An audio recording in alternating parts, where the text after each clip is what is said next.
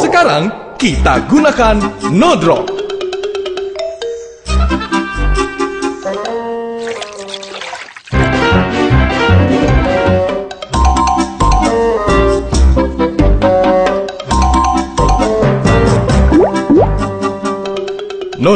Memang tahan lama.